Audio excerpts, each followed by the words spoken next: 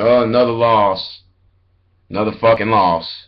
Ten, ten losses in a row. Now I ain't gonna lie. Um, I didn't expect this game to uh to be as close as it was, so I'm really fucking shocked that uh it ended the way it did. First of all, to give a proper crow, you got to congratulate, you know, uh, Tyson, your king is here. Um, HGL Legacy, Andrew F, Pats for Life BB, and Byron the Pats fan. I think he's he's new. He seems pretty cool. He does recaps and a little trash talk, and you know what I'm saying. He's kind of new to this. But uh, anyways, want to talk about the game. You know, Case Keenum has, still has an 86% quarterback passing rating. Uh, he had one rushing touchdown. Can't complain about that. Um, basically, we were up 17-7 at halftime. I was like, what the fuck? I mean, I'm just drinking and enjoying social hour, just, you know, talking to the little females walking the side, just doing my thing, you know. And we're up 17 to 7. Even Johnathan Joseph, a player who I bashed, y'all know I bash Johnathan Joseph all the time, that bitch had a pick on Tom Brady. I was fucking shocked. I couldn't believe it. Um, I'm glad Schaub's not in. Um, overall, I mean, it was a good game. The second half, the New England Patriots adjusted right off the bat, started the first drive, passed to Gronkowski, passed to Edelman.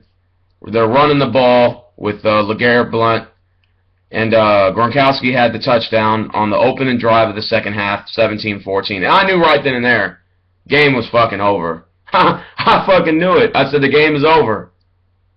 All in one fucking drive of the third quarter. When your defense sucks that fucking bad. Now, of course they got the ball back. They scored again. And took the lead. 21-17. Then um, Case Keenum, oh, Ben Tate had a touchdown, which, by the way, um, Ben Tate had three touchdowns and I guess he's auditioning for another team, whatever team he decides to go to. You know? And uh honestly I say we should keep Ben Tate, but I don't think they are because they say he's injury prone, yada yada yada.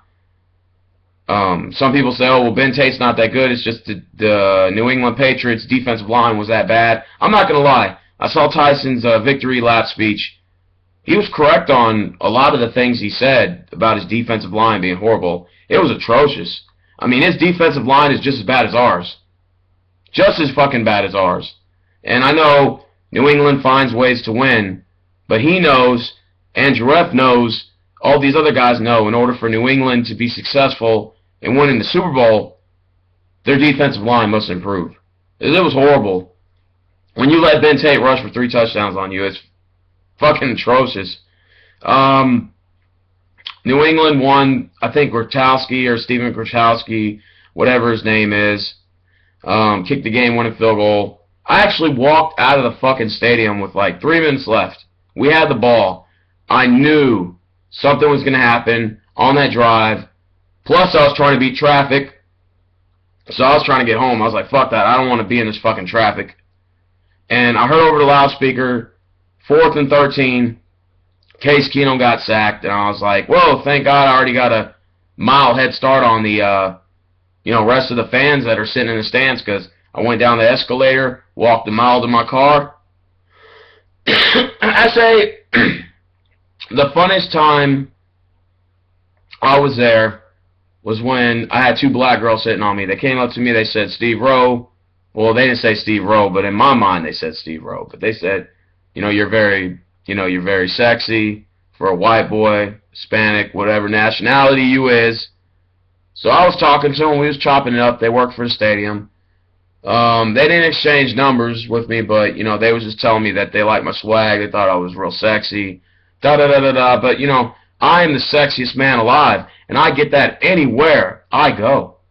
Ladies fall beneath my feet, and that's besides the point. But that's besides the point. Let's get back to the game. Um, basically Tyson was right on a lot of things, a, a, a lot of things. But um, I wanted to comment on Antonio Smith's allegations of cheating. I was at the game personally, and I'm just I'm telling you, to God's honest truth, there was no fucking cheating going on. It was a fair game. fair and square. I mean, if the Patriots, let's just pretend, let's let's just fucking pretend that the Patriots were cheating. For us to lose by fucking three points after leading 17-7 at halftime must have been some kind of fucking game. For them to cheat and for us to lose like that, I mean, come on, man. The Patriots did not cheat. And um, Tyson doesn't know this, but um, it wasn't just Antonio Smith that was accusing um, the New England Patriots of cheating. There were other Texans players who came out and said there was no way, with the adjustments that we had on our defensive scheme, there was no way they could have adjusted to that. I mean, let's just think on a common logic basis. You got an offensive line, or uh, an offensive line, like five, six guys, right? You got your tight ends, your left guards, your right guards. Then you got your defense. You got a bodies of guys dancing around in a trench, right? How the fuck did they cheat? I mean, let's just think logically. How did they cheat? It, it, it just doesn't make any sense. You got guys that are clashing in between each other. They're going to double team Watt. That's common fucking sense. They're going to put two guys on J.J. Watt. They're going to put two guys on him. And Antonio Smith, I mean, you don't have to double him. Um, his stats have actually been declining. Maybe he's frustrated because we lost 10 in a row. And This whole city is frustrated. But you know what? We got Case Keenum. We got a future quarterback. We can draft somebody in the first pick. We can even trade down because I know uh, there's not a high draft class on uh, on um on, on linemen and shit like that. Secondary. There's not a lot of options in the secondary in this draft. So it wouldn't make sense. It would probably make sense to draft a quarterback, or at least that's what I'm hearing. But if not, we may have to draft the offensive lineman and just take our chances. But I like Case Keenum. I like what he brings to this team. And uh, we got a good future. So even though we lost 10 in a row, this team fights every game. Keenum is 0-6 as a starting quarterback, 86 quarterback percent passing rating. He's thrown for eight touchdowns. Yes, he has three fumbles. Yes, he has three INTs. But in just six games, he equaled up Matt Schaub's stats.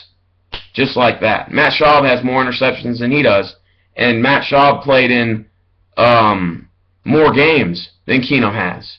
So, Keenum is a mobile quarterback, and that's what this team needs. No more of that finesse, pocket quarterback passing, unable to run bullshit. We need a, a quarterback that can run, that can run the option, that can scramble, and can be able to get rid of the football when being blitzed. That's the only thing really Keenum's got to work on. But um, nonetheless, New England Patriots deserve to fucking kick our ass. Well, they only won by three points, so I don't really consider it an ass kicking. But you know, they had their dog, we had our dog. We went in a dog fight, and their dog came out the winner, and they deserve this win. New England is a good organization. They had 13 straight winning seasons. Bill Belichick's a genius. Kraft is a genius. And Tom Brady is probably arguably one of the best quarterbacks of all time. And I would defy anybody to tell me otherwise. And that's just being smart. That's not being a fucking fan, you know, being a fan of your team and being like, oh, well, you know, this guy sucks or this guy fucking sucks because he's not a Texan. You know, fuck that bullshit, dude. Fuck that shit. I'm just going to admit it, flat out. Tyson, Tom Brady will always own the Texans. You know what I'm saying? Now to get to the bet. Um, the bet was, and I'm just going to say it right now. Let's just get this over with. You know, I am your bitch. Straight up, Tyson. I am your bitch. You are my God. I worship the ground you walk on. Um, the Patriots are always better than the Texans. And uh, Brady's the best of all time. You are the true king. And I normally, you know, now that I'm out of my bet, um, I normally don't admit this to a lot of people, but I'm going to say this right now. Tyson is the best trash talker in the TTC. And he's also the best video editor in the TTC. And I'm not saying that because I'm kissing his ass, and I'm not saying it because it's part of the bet. I'm saying this because it's the truth. He is the best, and it doesn't get any better than that. I mean, you got some other guys like The Voice. You know, I, I, you know, I mean, there's a hand, there's a handful. L.J. Howard's coming up. Um, you got Megatron. I mean, you got a bunch of guys. Seahawks two four seven. I mean, you got new guys coming up. But if if you were to compare who's the best, in my opinion, I think Tyson is the best. That's just my personal opinion. And I love trash talking against him in the off season. It was fun. Um, but you deserve this win, and your Patriots did everything they could to get the W. Um, you have a Class A organization who is committed to winning, and I can't hate you for that. I can't fucking hate you for that. And the reason why a lot of people hate your fucking team is because they wish their organization was like yours. Committed to excellence, committed to winning, committed, committed to winning championships. I mean, 13 winning seasons in a row. Bill Belichick's last losing season was what, his rookie season? 7 and 9, some shit like that. Come on, man. I wish my organization was like that. Now I'm to address something. I'm to address, address something. I heard from a birdie, a little birdie, that fucking Gary Kubiak has got a three-year extension. I hope and pray to God that shit's not true because I'm telling you right now, if he, if that motherfucker so much as gets an extension, I'm going ape shit. I'm gonna go on a fucking one hour spree fucking rant and I'm going crazy in this motherfucker. It, I, I swear to God, he better not fucking get an extension. I'm telling you right now, I will revoke my season tickets because this is bullshit. I cannot stand another three years of predictability. We need a coach that's going to shake up the system.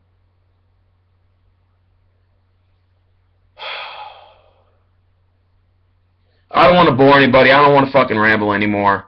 But um, you know, Tyson, you are the better team. Um, you deserve to win. So, peace out.